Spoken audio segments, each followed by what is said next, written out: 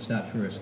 I think in this particular one, um, I don't see the division as strongly as other people in town. Uh, There are some people that say, well, you never should say you like the other candidates, Uh, but I do. Uh, I played softball with them.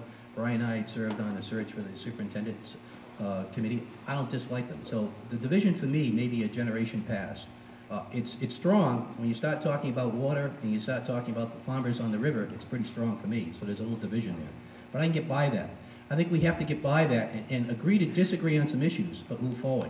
Because regardless of what happens in these halls, when we go out and we leave Westport, we have one another's back. At least I believe we do.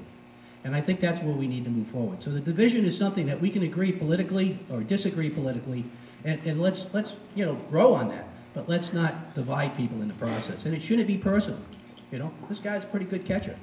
And this guy did a good job when the search committee. I don't think they're doing a good job as selectmen. That's why I'm running. That's all.